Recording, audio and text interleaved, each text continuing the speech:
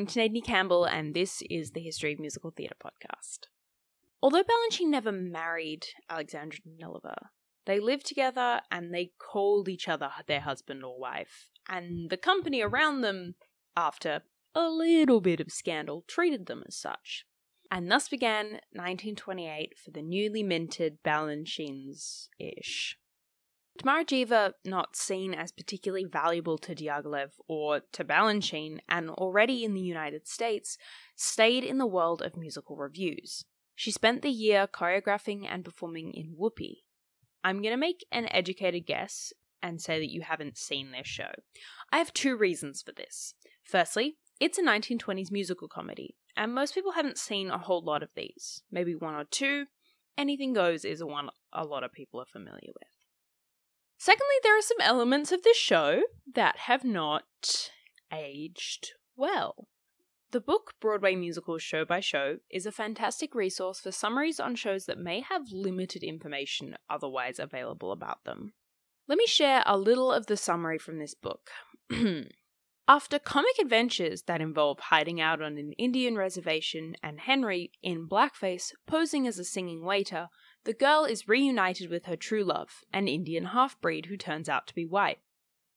I'm going to go out on a limb and say it would take a lot of adaptation to make this show performable again. People have enough issues with Annie Get Your Gun. The show was produced by Florenz Ziegfeld. It starred Eddie Cantor, a comedian who'd been part of the Ziegfeld Follies for the five previous years. By all accounts, it was a successful show, and it would later be adapted to a movie. Tamara Geva would find herself settling into the world of Broadway. Also this year, the future Balanchine ballerina, Patricia Wilde, then Patricia White, was born. Lincoln Kirstein co founded the Harvard Society for Contemporary Art. Muriel Stuart dances with and choreographs for the Chicago Civic Opera Ballet. Before we go back to the Ballet Russe, I think it's important to talk a little about why Balanchine married the women he married. They were all dancers, particularly dancers he wanted to create work on. Had Tamara Toumanova been a little older, it's possible she too would have been a Mrs. Balanchine. So, what kind of dancer was Danilova? Her description in George Balanchine, the ballet maker, was as follows Danilova was an extremely talented dancer, with wit, with elegance, and very beautiful legs. They were to become as famous in the world of ballet as Dietrich's were in the world of film. Unlike Geva, she had come through the Imperial Ballet School system. She had been the year above Balanchine, and they'd shared the stage and even partnered each other as children in Petipa ballets. The relationship was always a little contentious, with Balanchine often falling short of Danilova's expectations for what a partner, someone who proclaimed himself her husband, should do. At one performance, she was the only soloist not to receive flowers. After complaining to Diaghilev, who passed it on to Balanchine, at the next performance, she had so many flowers she couldn't carry them all home. He bought her a green car, which she'd used as style inspiration, choosing and buying a few outfits to match it. And then there were some issues with import taxes, so he just gave the car to a random on the dock. It wasn't all George's fault, though. On another occasion, he brought home lapis lazuli earrings from a trip. Danilova was deeply offended by the fact that they weren't diamonds. She threw them back in his face, which she also did when he dared to buy her cheap perfume. Diaghilev played as both a mediator and an antagonist in their relationship. Danilova was valuable to him in a way Geva hadn't been. We'll see a little bit more of that in a minute. Much of Balanchine's work, after he'd proved himself in his early opera ballets, had roles created specifically for her. The Triumph of Neptune was her first real success. Still, she was never the favourite of Diaghilev, or more importantly, of Lord Rothermere. This was expressed in the creation of Apollo. Balanchine created one of his most famous works in 1928. Apollo, or Apollo Musagète, is the earliest Balanchine ballet still in the repertoire that hasn't been lost to the expanse of time. Earlier works like Cotillion and La Concurrence are just gone. We don't know what they looked like. Apollo was a great neoclassical work, taking a stripped back Stravinsky score and a handful of dancers to tell the story of Apollo being born and meeting the Muses. He meets three Muses Polyhymnia, Calliope, and Terpsichore. Respectively, they are the muses of mime, poetry, and dance. The role of Terpsichore is the largest, perhaps not surprising for, you know, a ballet. Balanchine himself credited much of the success to the work to him daring not to use all his ideas. The work is beautiful in its simplicity. But don't let the simplicity of the ballet trick you. For the dancers, the choreography was immensely challenging to learn. There is now a whole system designed to prepare dancers for the peculiarities of the Balanchine repertoire. At the time, the dancers were trained for Petipa. The role of Apollo was created on Serge Lifar, on the direction of the other Serge. Balanchine gave the primary role, Terpsichore, to his muse Alexandra Danilova. But Balanchine didn't have the total creative control over his work that would enable him in later years. A significant backer, the aforementioned Lord Rothermere, wanted the role to go to Alice Nikitina. Diaghilev was bound by his backers. After seeing the ballet with Nikitina as Terpsichore, Serge concluded that the solo given to her was boring and should be taken out of the work. Balanchine suggested that, hey, maybe you just picked a boring dancer. Just saying. They tried removing it and then opted for the much better solution of putting Danilova back in the role. The two dancers alternated performances, and after Alice performed the Paris premiere, Alexandra took to the stage for the London opening. Over Balanchine's life, the ballet was endlessly reworked, which I'll talk more about in later episodes. One immediate change was the ditching of the Diaghilev style sets and costumes for much simpler ones designed by Chanel. This would also become iconic Balanchine. Later in the year, he also created The Gods Go Begging, another lost ballet which was not hugely significant. 1929. Lydia Lopukova, who we met a few weeks ago, was only dancing occasionally. She'd performed a few times with the Ballet Russe, including one role that no one had ever really liked her in Firebird. Living in London, she was approached to create some dances for a new film, Dark Red Roses. It was going to be the first talking picture made in London, two years after The Jazz Singer in Hollywood. She was asked to create some dances with an oriental tone on the theme of lust. It honestly didn't have that much to do with the film itself. Lydia brought George Balanchine and Anton Dolin, another dancer you'll hear more about as we go, on to work with her. Lopukova was initially going to choreograph the short ballet herself, but ended up giving the job to Balanchine. If in doubt, have Balanchine choreograph it. Not a bad general plan. Lincoln Kirstein had three important events this year. The Harvard Society of Contemporary Art, which he had founded the year before, leads to the founding of the Museum of Modern Art. On a holiday in Venice, Kirstein incidentally comes across a funeral procession it is the final goodbye for Sergei Diaghilev. Diaghilev had died while Balanchine, Dolin, and Lopukova were working in London on the film. There is some irony to the fact that Serge didn't believe in ballet on film. He loved film, but he thought dancing belonged on the stage. At the time of his death, talents he fostered were working on a film. Of the death, Balanchine said, It is because of Diaghilev that I am whatever I am today. This would be a major creative setback for Balanchine, if not for Lincoln's third event, a little earlier in the year. He saw his first Balanchine ballet, The Prodigal Son. Whereas Apollo would be best described as neoclassical, Prodigal Son drops the classical. It is not a classical ballet. It contains acrobatic elements, for example. The principal role, the siren, is on pointe, but mostly for the sake of the height it gave her.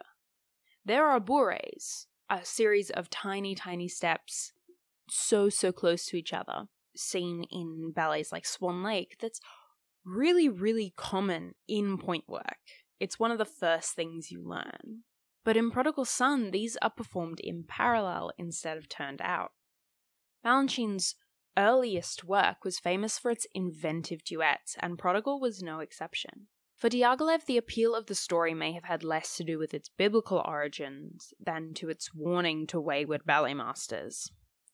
Nijinsky and Massine were both former lovers of Diaghilev who worked as choreographers and then married women. The idea of them returning apologetic may have held a draw.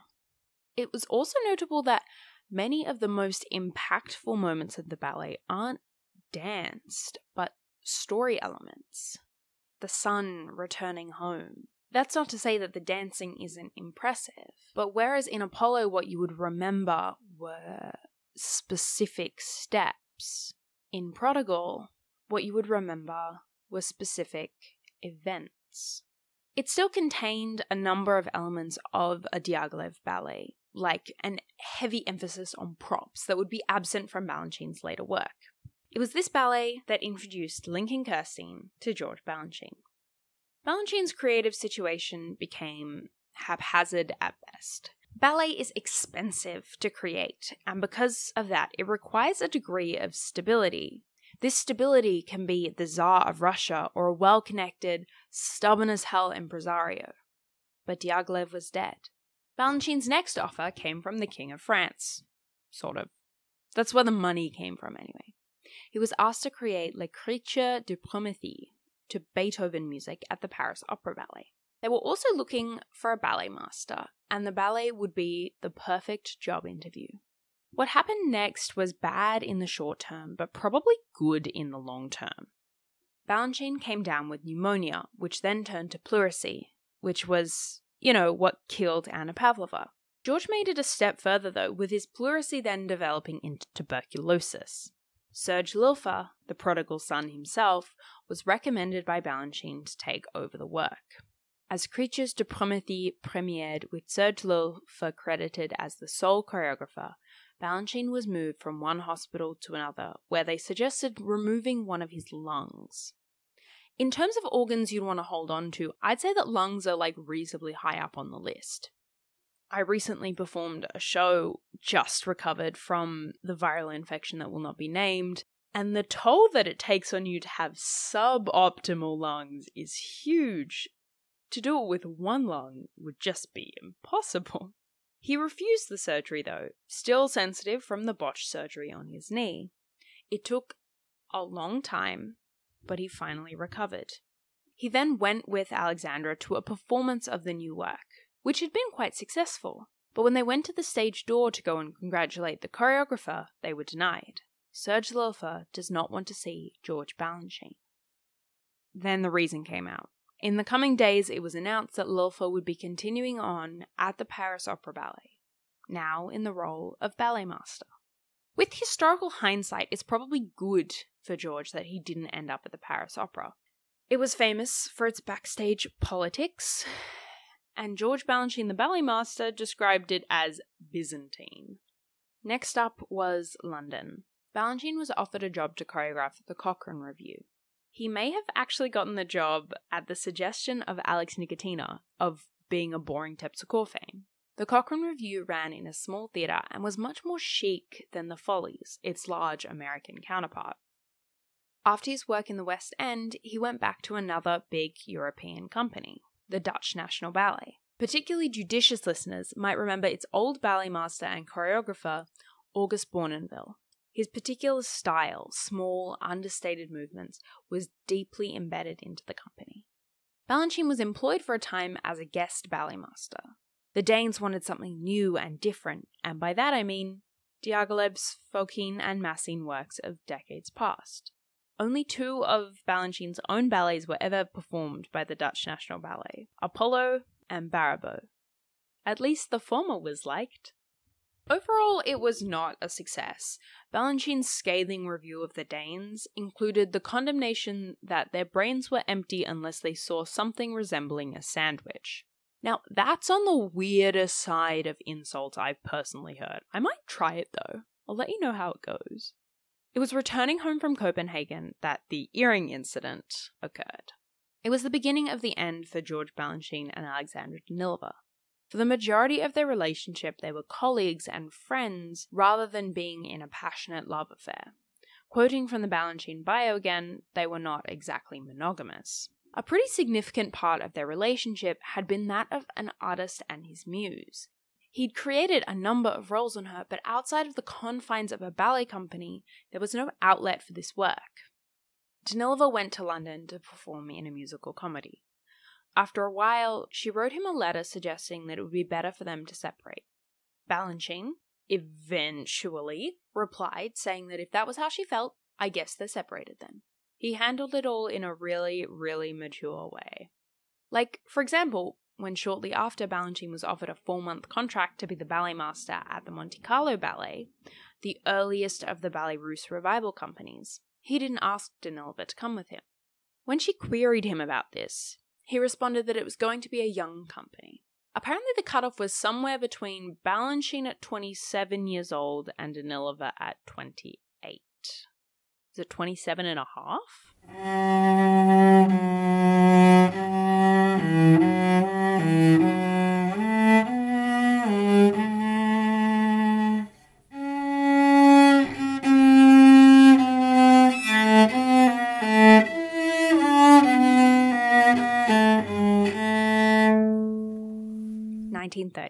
Tamara Geva, she spent the year in another musical review. Reviews, due to their extremely varied nature, will prove an important springboard for many a dancer, especially in the early years onto the Broadway stage and into the world of musical theatre and even sometimes straight plays. Clifton Webb, Fred Allen, and Libby Holman had been the stars of The Little Show the year before. The Little Show was what the name suggests a smaller, lower budget version of revues like The Ziegfeld Follies, The George White Scandals, or The Passing Show. In 1930, they prepared again to bring the Little Show to the stage. The second Little Show, as it was called, didn't feature Tamara Geva. It also didn't feature Clifton Webb, Fred Allen, and Libby Holman.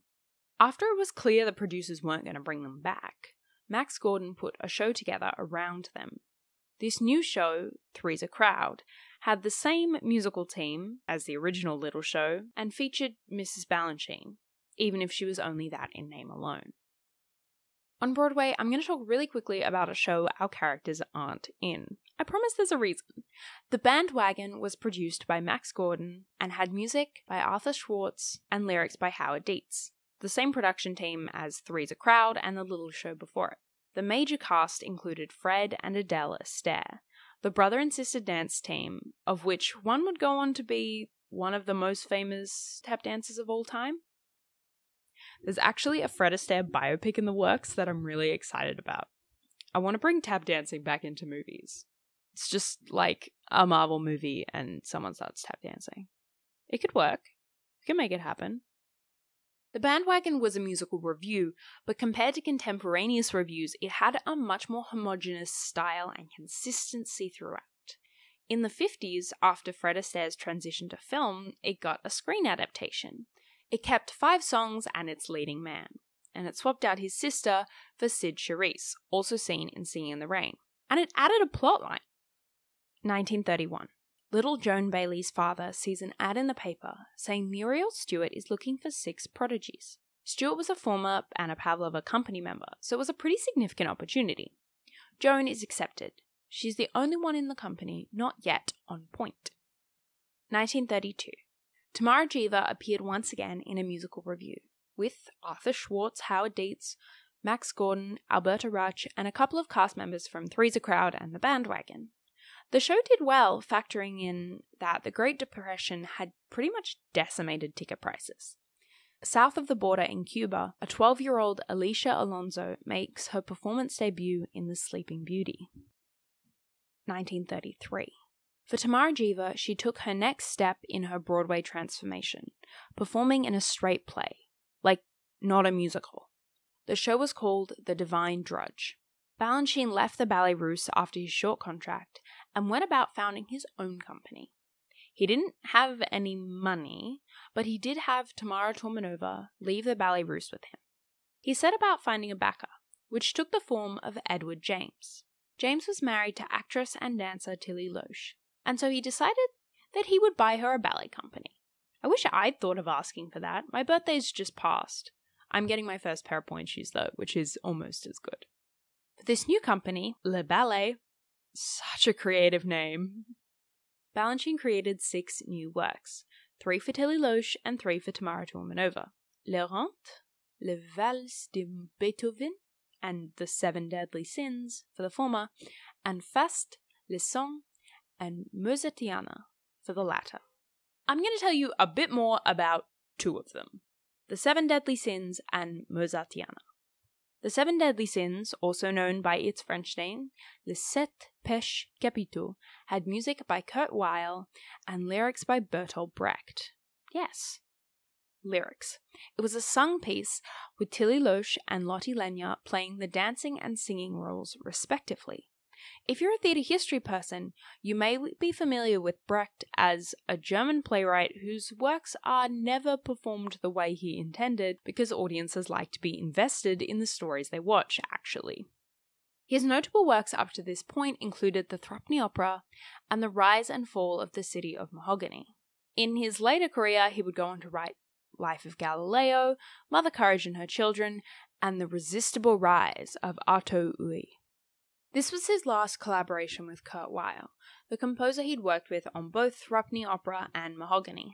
Kurt Weill would later write the show Street Scene, along with a wide range of more orchestral music.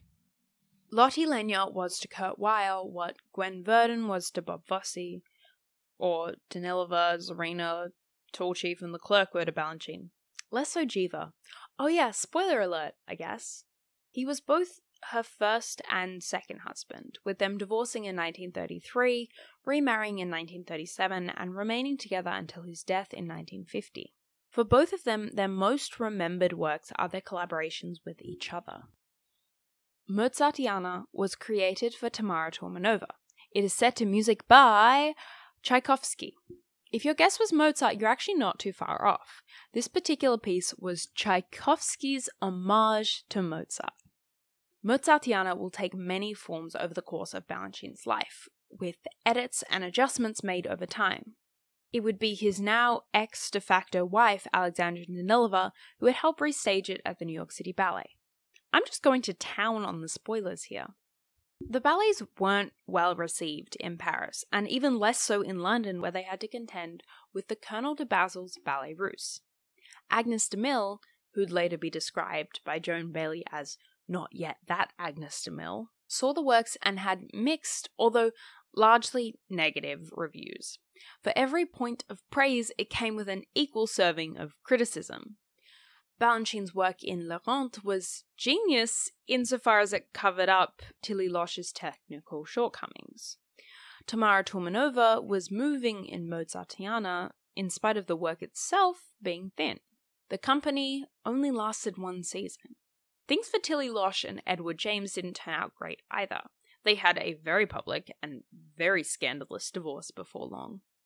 I guess it is better for me to stick to my pointe shoes. In the intervening time, Lincoln Kirstein had graduated Harvard, worked with Romola Nijinsky on a biography of her husband Vaslav, and been taking annual trips to Europe to see ballet. Le Ballet was a flop as a company, but it was after one of their performances that Balanchine and Kirstein met and the former heard the latter's idea for a ballet company in America. Why Balanchine, though? He'd just come off a disaster of a season. He'd never really been anywhere very long. Why not a more established choreographer like Massine or Lifar? Well, I mean, those two already had jobs. And pretty stable ones. Massine was the ballet master and chief choreographer for the Ballet Russe, and Lifar did the equivalent job at the Paris Opera Ballet. Balanchine was a free agent. After a week of discussions, Balanchine agreed, saying America had always been his dream, but they couldn't start a company right away. First, they needed a school. The original plan was one in Hartford, Connecticut. By plan, I mean they had people they were going to work with, they had a proposed site, it was a very set plan. But then Balanchine changed his mind and decided it had to be New York. He'd also thought Tamara Toumanova would be joining him, but she had signed back with the Ballet Russe, so was unavailable for the time. In the words of George Balanchine, the ballet maker, at the age of 29, nine years after arriving in the West, Balanchine was on his way to a new world and a new life. His only connection, the 26 year old Lincoln Kirstein, whom he barely knew, and an ex wife he hadn't seen in a dozen years. 1934 began with the founding of the School of American Ballet. As Balanchine put it, he was brought out to teach and create American ballet. When I say began, I mean that on the second day of January, the first classes were held. People would have barely caught up on their New Year's sleep deprivation, and they were held in a space that had once belonged to Isadora Duncan. The initial faculty was small, Balanchine himself, alongside former Mariinsky principal and Anna Pavlova partner Pierre Vladimirov, and American Dorothy Littlefield. Many of the earliest students also came from some degree of Russian ballet tradition. As the Pavlova and Diaghilev troupes had toured around the country, dancers had left to start their own studios. Mikhail Fokine, the choreographer who had shaped much of the dance landscape Balanchine grew up in, also had an established New York school. This didn't endear them to George, though, who worked tirelessly to create the type of dancer he wanted. He wanted to create a new American style of ballet. Kirstein would say of American young women that they were basketball champions and queens of the tennis court whose proper domain was athletics. They were long legged, long necked, slim hipped, and capable of endless acrobatic virtuosity. It was this virtuosity that would be refined. The first ballet to come out of this new school, this new company, was Serenade. Balanchine was used to working with trained dancers in normal numbers in a typical petit pas in hierarchy. This is not what he had for Serenade. He had 17 women, maybe three guys. They weren't raised in the imperial ballet system. What was created was Serenade, subtitled A Dance in the Moonlight. If you've seen clips from this work, you'll absolutely understand this subtitle. The soft blue of the tutus and the lights. Ugh, it's so pretty. It's so pretty. it used a lot of odd numbers in lines. Not odd as in the opposite of even, 1, 3, 5, 7, etc. Although they did often have that, but odd in the sense of unusual. If you think of Dance of the Hours from Coppelia, 24 dances in four straight lines, each dancer standing directly behind the dancer in front of her. This was not what they had in Serenade.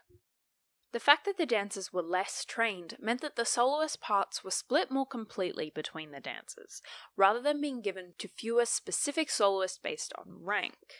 Undertrained dancers may be able to execute some more complicated steps, but to expect that one would be able to execute all of the complicated steps in the ballet was a bit beyond the company at the time. Over the years, the ballet has been reworked to better fit the traditional ballet company structure, which the New York City Ballet has.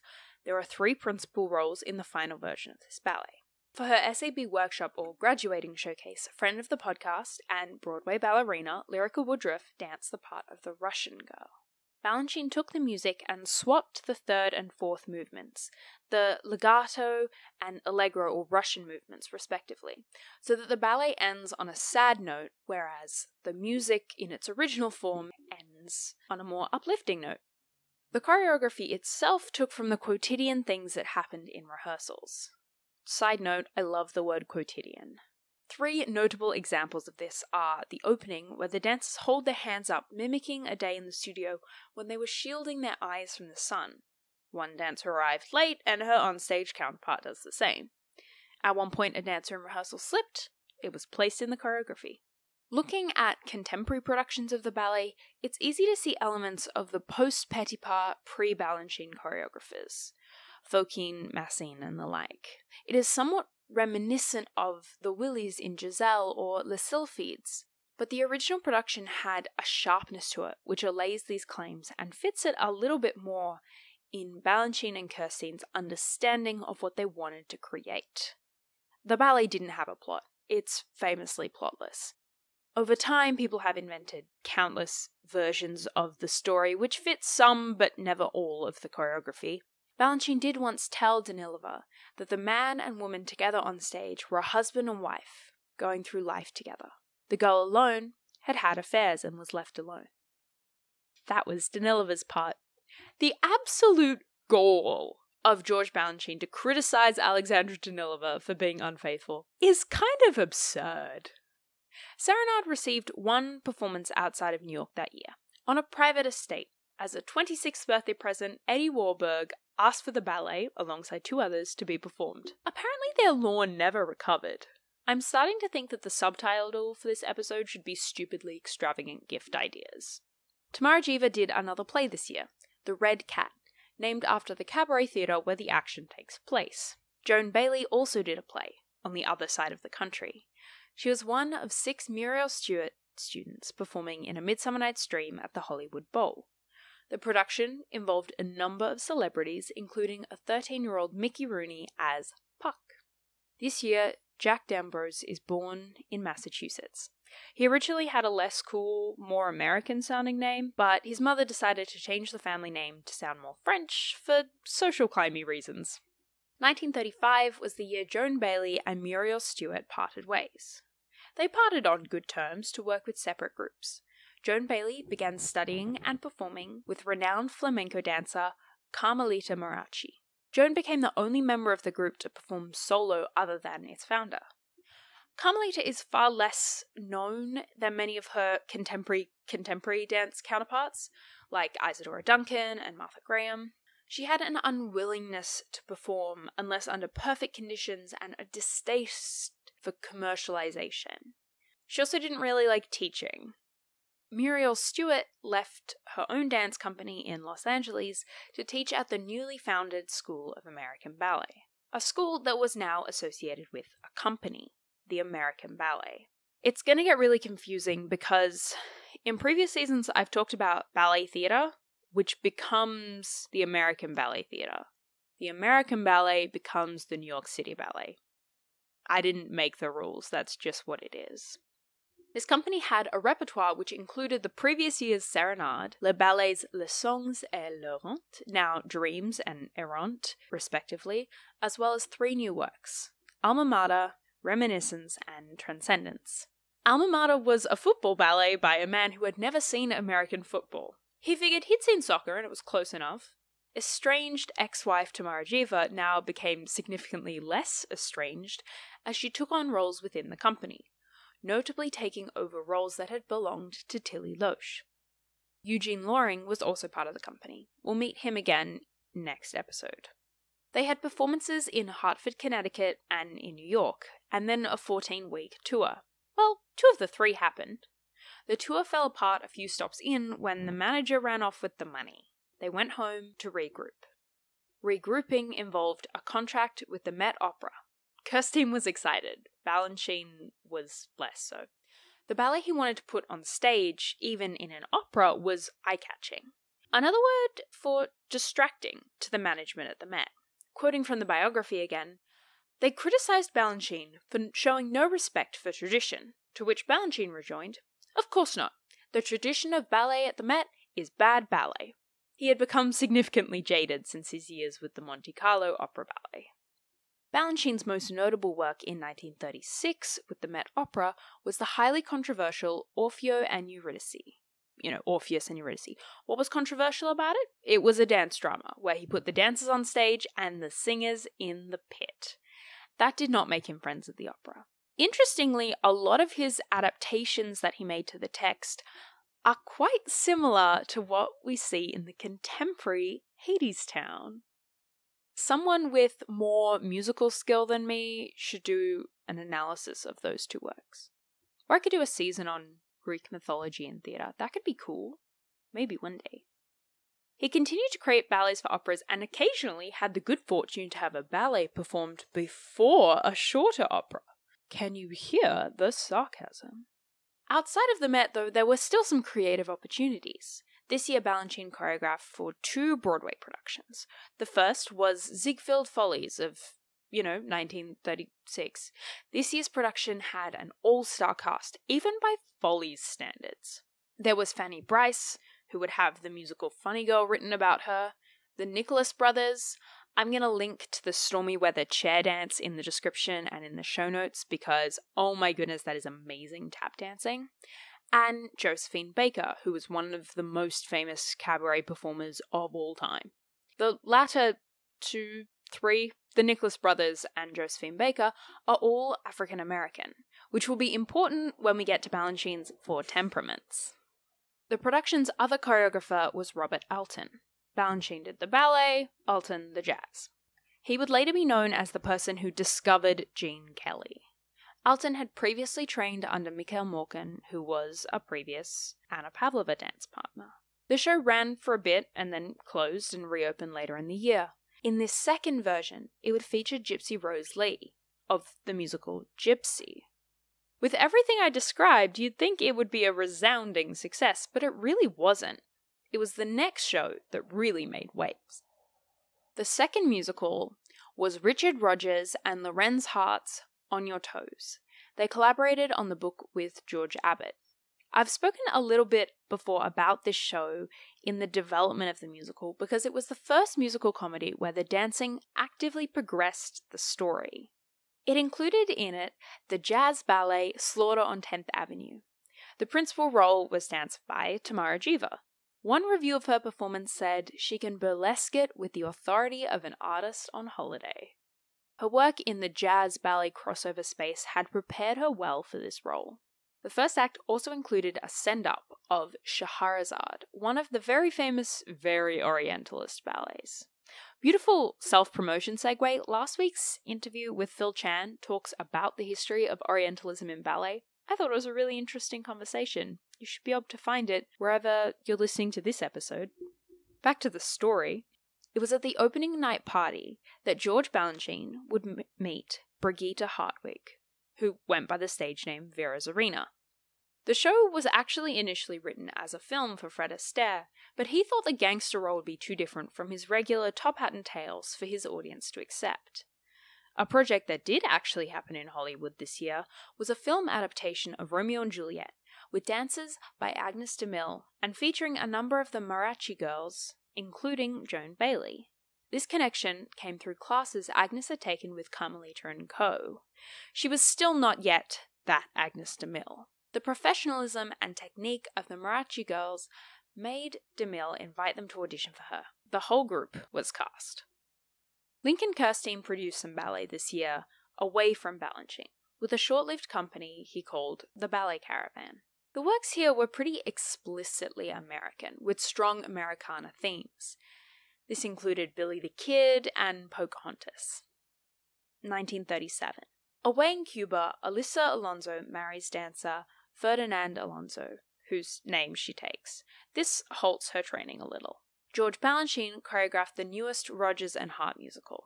The cast included the Nicholas brothers again.